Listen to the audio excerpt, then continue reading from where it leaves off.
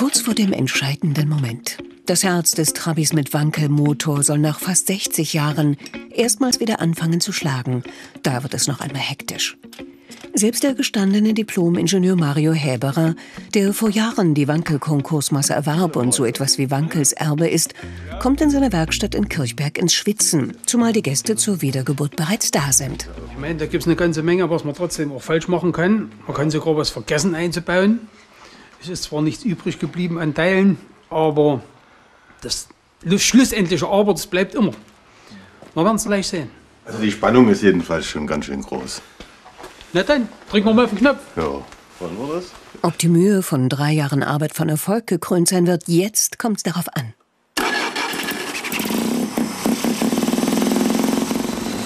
Ja, es wankelt wieder. Das Werk ist vollbracht. Die Kraftquelle des letzten von 1.6 Prototypfahrzeugen, von dessen Existenz nur wenige Eingeweihte im Arbeiter- und Bauernstaat wussten, sie ist wieder am Teckeln, wie man sagt. Er hat sich nach all den Jahren sofort erinnert, für was er bestimmt war. Das ist gut. Gewaltig. Ne, toll. Ein Trabi mit einem Wankelmotor oder wie er in der DDR bezeichnet wurde, Kreiskolbenmotor, kurz KKM. Das ist nicht nur heute eine Sensation. Anders als beim Auf und Ab des Hubkolbens übernimmt dabei eine Scheibe die ganze Arbeit. Die Vorteile? Kleiner, leichter und weniger Krach. Dass ein Kolben ebenfalls einen taktenden Arbeitsablauf ermöglicht, entdeckt Felix Wankel, ein streitbarer Konstrukteur, noch vor dem Krieg. Mit der Zeit verfeinert er sein revolutionäres Prinzip. Wann ist zum ersten Mal so ein Motor denn gelaufen? Dieser Motor fing im Februar 1957 an zu laufen. Der Wundermotor soll auch für den Trabi zum großen Wurf werden. Der Kontakt zur NSU AG, die sich Wankels Idee gesichert hat, wird hergestellt. Lizenzverträge erworben. In Folge lassen Ingenieure aus Ost und West es gemeinsam im Trabi wankeln.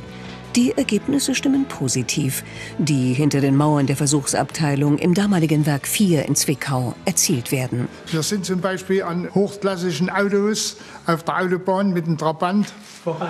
vorbeigefahren. Da haben sie alle große Augen gemacht und haben gesagt, das kann doch nicht sein, dass hier so ein Trabant äh, ein Tatra zum Beispiel überholt oder einen großen Volga. Trotzdem kommt 68 das Aus für die Innovation. Sprit- und Ölverbrauch sind zu hoch, laut Order der Politbosse. 3,5 Devisenmillionen und rund 12 Millionen Ostmark sind damit futsch.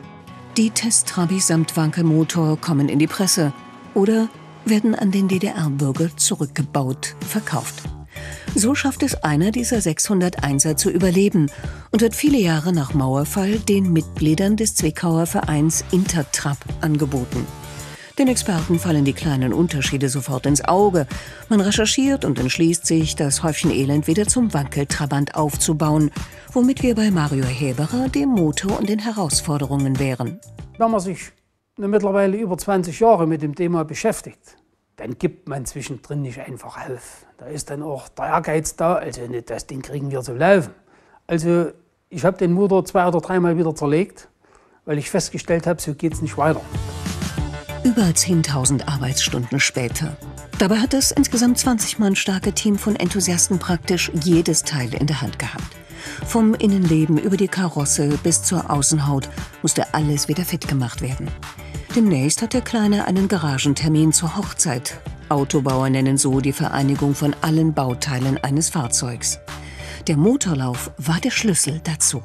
Das ist ein, ein großer Tag. Das ist im Grunde genommen gelebte, gelebte Industriegeschichte.